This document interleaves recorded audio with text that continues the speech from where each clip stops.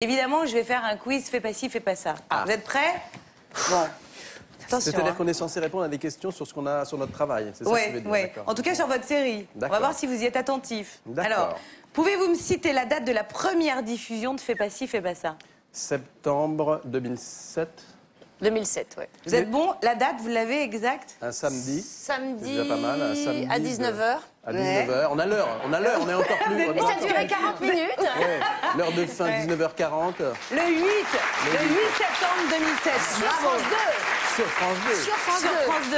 Ouais. C'est vrai en plus. Ouais. Ah, c'est notre chaîne. Est-ce que c'était Oui. pas genre un 9 septembre À 8. 8 septembre. 8 septembre. Pas mal, Eh, hein. Vous êtes bien, vous êtes bien. Quel est le dessert préféré de Christophe? Alors Christophe, c'est le fils de Renaud Lepic et le gendre de Valérie Boulet. Isabelle. Les marrons suisses, mais par deux. Par quatre même. Par quatre. Par quatre, les grands Ouais. jours. Bravo, bonne réponse. Euh, Ah, c'est bien. hein. quel est... Peu une question piège pour ceux qui suivent la série. Quel est le prénom de la mère de Valérie Boulet? Ah, euh, si, Ah, je suis pas sûre. Monique?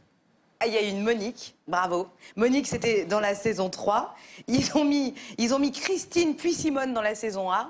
Ah, et bon, après, ils ont mis vrai. Monique dans la saison 3. Ah, bah, c'est pas ça. possible. Si, attendez, vous avez vu, on a creusé quand même. hein. Là, parce qu'elle Ouais. est d'une bonne famille, elle a trois prénoms. Oui, c'est ça, voilà. Simone, Ils utilisent Monique. tous les prénoms. Ouais, Je me souviens que la première, en tout cas, c'était la voisine. euh, c'était une voisine. Ah, mais oui, t'as raison. Une voisine d'un appartement où on avait tourné. Ouais.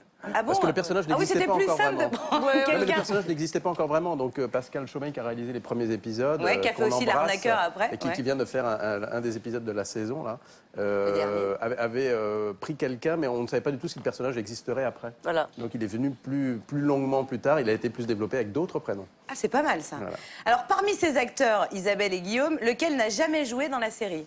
Patrick Bruel, Il a joué. Il a joué. Julien Lepers, Il a Yvan joué. Le Il a Bolloc joué. ou Barbara Schultz C'est Yvan Le Bolloc qui a jamais joué. Bravo, bonne réponse à tous les deux.